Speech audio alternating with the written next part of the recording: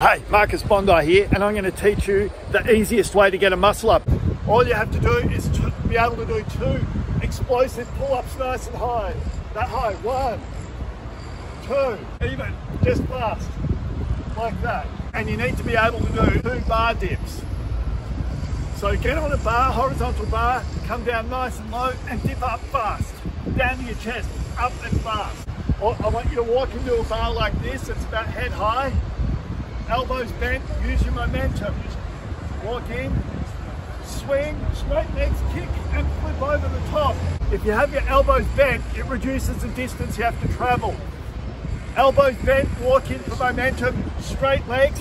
As soon as you start coming back, kick your knees up to your chest, flip your elbows over, and that's a muscle up. Straight legs, kick, flip over, and that's a muscle up, easy. And you got it. Yes, yes, yes, yes.